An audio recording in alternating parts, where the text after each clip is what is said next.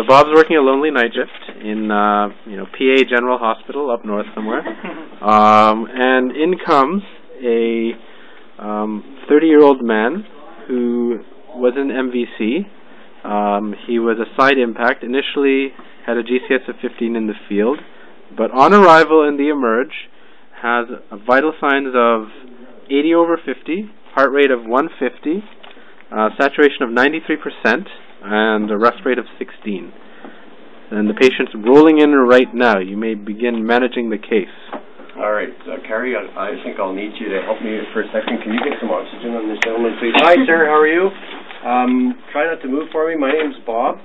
Um, we just need to do a few things and uh, get you organized here to help you out. So what I'm going to do is uh, just uh, an oxygen mask, uh, car. I think we might be able to have one in one of the bags over there. Um, okay, so do you know where you are, sir? Did he respond to me at all? He's not responding to you.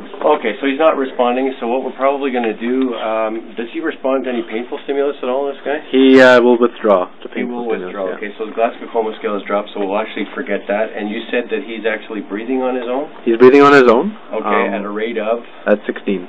Okay, so we'll still actually want to watch his airway. So what I want to do is probably just put an oropharyngeal airway to protect his airway because he's got reduced level of consciousness. So we'll actually just insert that. Does he accept the airway?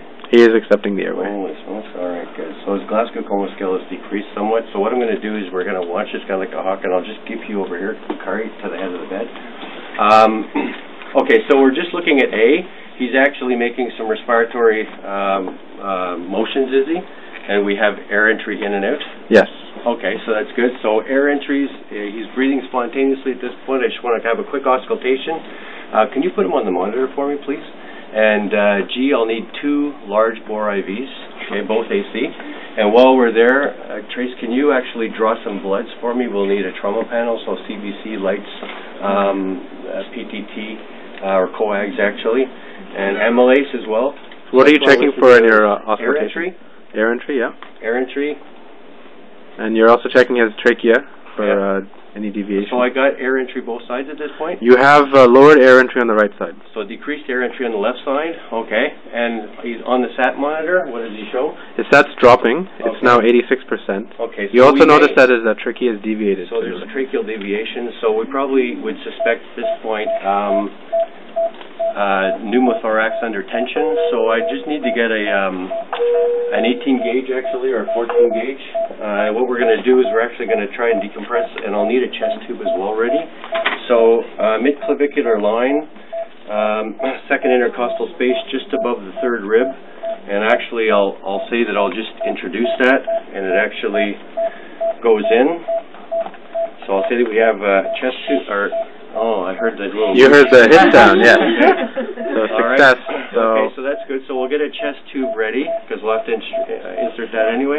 I'll just re-auscultate air entry on the right, yes, air entry on the left. improved. Yes, Okay, improved sats. his SATs are improving now. Now Okay, you're at good. 95%. Um, and now what I'll do is we'll need to get a blood pressure. I just while I'm here, um, I'm just doing a quick cursory primary survey. I just want to feel for symmetry of um, pulses at this point. Pulses are symmetrical but thready. It's ready? Okay. And so what I need to do um, is uh, get, uh, I want to do a liter right now, so 500 each bag um, over the next five, ten minutes, and call the blood bank as well and let them know that we're going to need some O. Negative. Oh, negative. Yeah, 'cause I made that. All right. So next thing I want to do, so I've got airway breathing circulation done. I just want to do a quick wet check um, and see if there's any blood anywhere. What else can you do in your circulation assessment? Uh, well, I checked uh, central pulses, peripheral pulses. We've got a blood pressure uh, on him. What is his blood pressure now? His blood pressure has improved. It's now uh, 85 over 50. Oh, From 80 over eh? 50. From 80 systolic. Okay, so um, so primary airway is being managed currently. I'll come back to that in a split second. Uh, breathing is being uh, monitored. He is breathing at a rate of 16. SATs are improving somewhat. Chest tube is getting set up. We called for gen surge, ortho, probably the neuroids.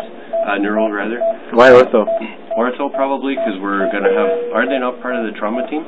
Um, oh yeah, I guess they would be in this case, but uh, we don't have any uh, musculoskeletal injuries yet on secondary survey, so. Well, I haven't done a secondary yet, Yeah. so I'm still doing a primary. So you mentioned about um, the uh, circulatory status. So we just look at him overall perfusion. Is he pale?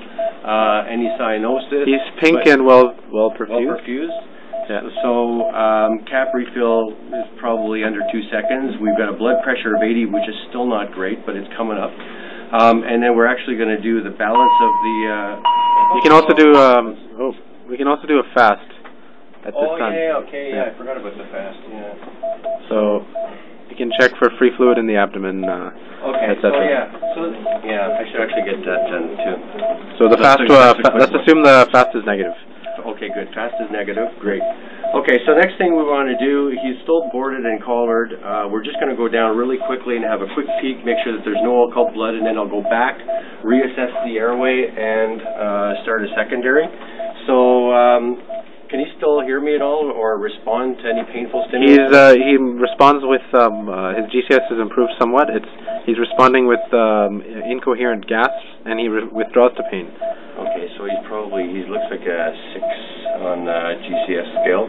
Um, okay, so let's start at the top then. I'm just going to place my hands on his head and we're going to palpate, look for blood and or any um, depress, uh, depressions, um, hematomas, um, frontal bone. Look at his eyes and check the pupils now.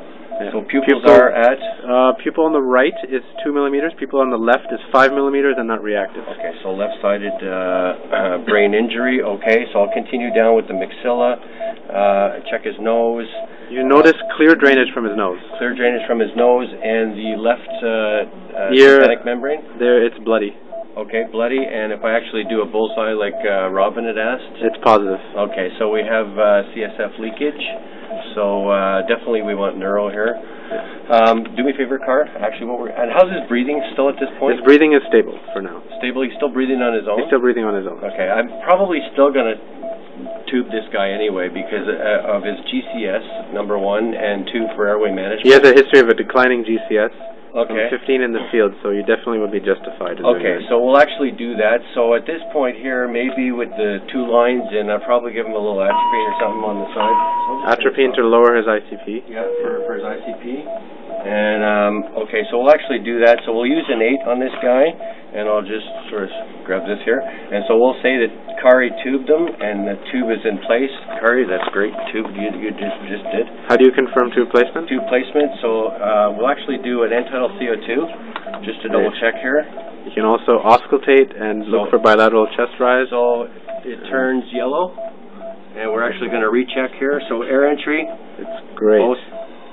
Both It's both, great. both axillae and over the stomach. And you don't hear it in the stomach. I'm sorry. You don't hear it in the stomach. Sorry, okay, so no gurgling in the stomach, and I've auscultated both axilla. Yeah. I'm sort of going at this on the fly. Okay, so and uh, compliance is good. Compliance is good. Okay, good. Sats are actually coming up. Sats are coming up. Okay, good thing. All right, so we're actually going to do that. Now, if you could do me a favor, G, just hold his head for me, while, while and you're going to bag him at uh, one breath every. G is three- providing inline stabilization, Okay. uh, So while hang on a second. Just, Bob just, is- just hold his head. Okay. I'm going to open up the collar, and I'm actually going to uh, just palpate down here, see if I can see any palpable step-offs. I don't feel anything. Please just check the C-spine for palpable step-off deformities. And I'm actually looking at the trachea, uh, make sure it's midline, and checking for a subq emphysema. I can feel the pulses quite well. He's, Uh, he'll also listen for bruits and for any hematomas. He'll examine. He'll also look for any penetrating or blunt trauma.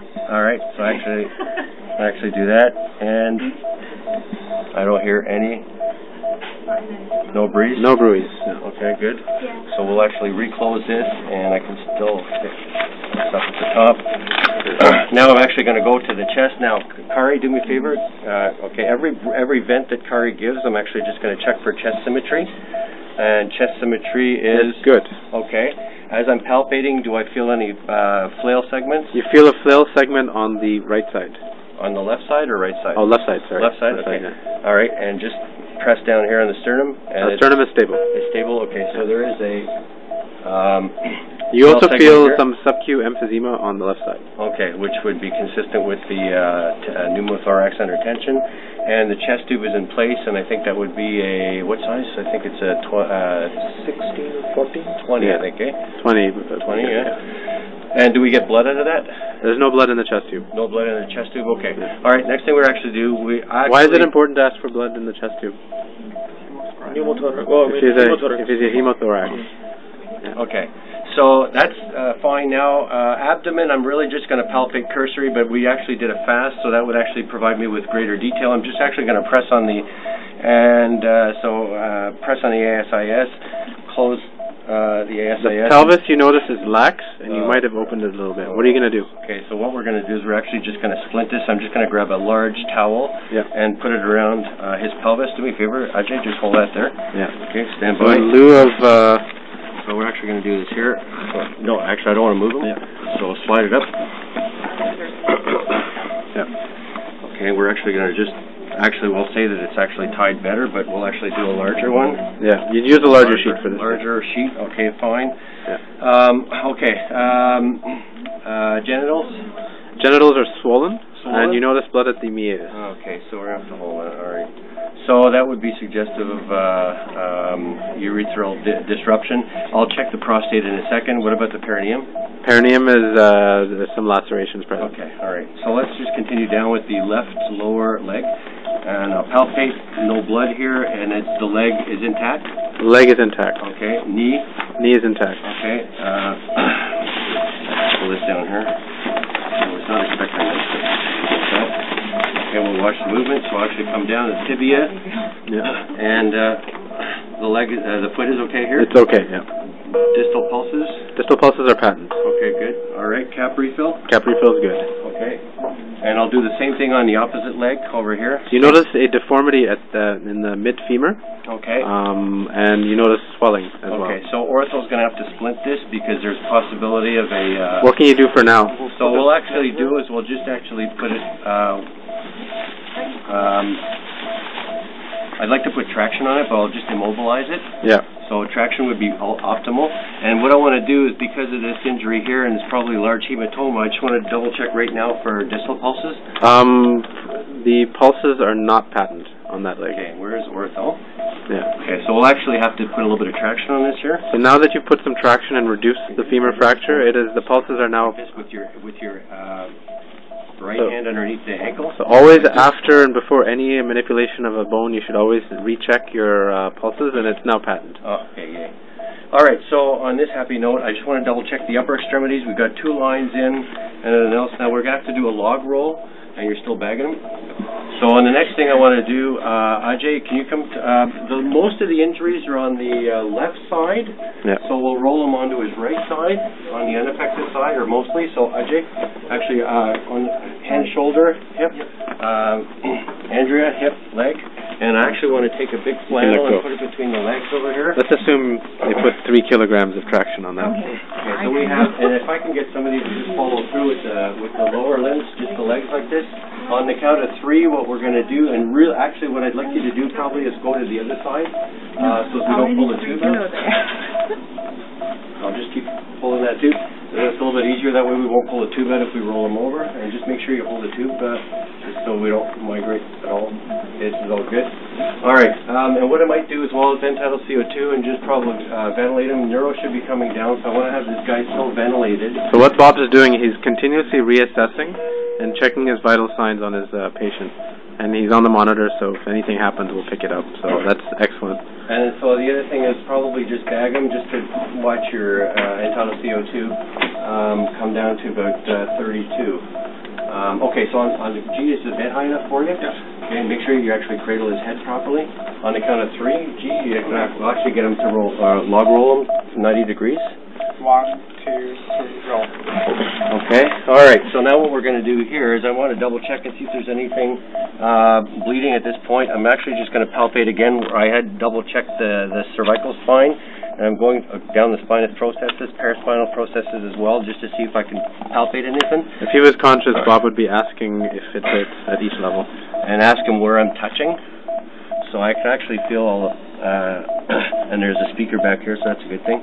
Um, and I feel down the, uh, the spinous processes, so 12 uh, spinal, come to the lumbar area, do the lumbar.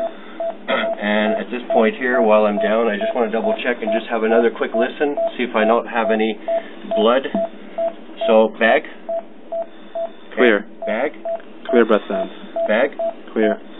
and Clear. bag. That's good? Yeah. Okay.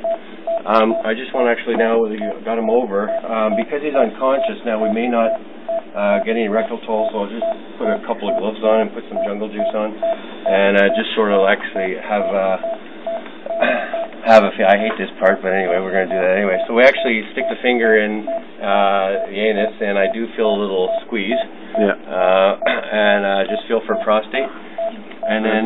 He has a high riding prostate. Okay, so that would actually be consistent with uh, the potential for uh, uh, urethral disruption. And I pull my finger out. Is there any blood? There's blood. Okay, so we'll actually. Okay, so there's blood. All right, and so for the rest, on the count of three, we'll actually ro- log roll him back. Um, did I miss anything at this point? Uh, nope. Okay, so on the count of three, let's bring him back. So we should have ortho uh, watch the, the, the tube. Um, okay, so that would be the next thing. So we'll bring him back on the count of three. One, two, three, down. Okay, so he's back. We're going to go back to ABCs. You should uh, do the two-step log roll. Again. Okay, so we'll do the other other side as well, so we'll actually come to this side. Oh, here. let's just assume you did. Yeah, so, okay, so we'll assume, and so what are the findings on the two-step? Uh, no findings. Okay, so we'll go back to ABCs. We should have had our bloods, or some of the bloods, um, back already. What's his hemoglobin? His hemoglobin is 95. Okay, so we should actually, we called for some. What uh, blood did you order? Uh, we called for O, O, ne- o negative on, on this guy. So we'll actually have to give him, um, a couple of units. Well, actually, he's at 95 now. Mm-hmm. Um, okay, so we'll probably give him one unit to start, and uh, we'll keep the issue of uh, balanced transfusion in the back of our minds. Um, So what Bob's done is we've ordered, uh, now that the secondary survey is done, we can order our basic labs, uh, basically CBC, lytes, LFTs, uh, urinalysis, and uh, he's ordering blood because the patient's blood pressure is still low, um, and he's still tachycardic. Okay, that's Okay. No. No. okay, so what we want to do here, if his blood pressure is still low, we've we've infused how many liters now? A second given liter? two liters so Two far. liters? Okay, so on the third liter, we're going to start blood, and I probably want to consider, like, he needs to meet a surgeon, this guy, but we'll probably look at um, dopamine uh, transiently to, to keep his pressure up and get him to the OR. Mhm. So uh, probably 10 mics per kilo per minute at this point to see if we get any uh, alpha effects. And um, apart from that, we also want to find out if there's any history on this guy, Mhm. um, as far as any meds, uh, medical problems or allergies. Um, did I forget anything? I'm like, I'm. No, that's I'm- pretty good. I'm Good job.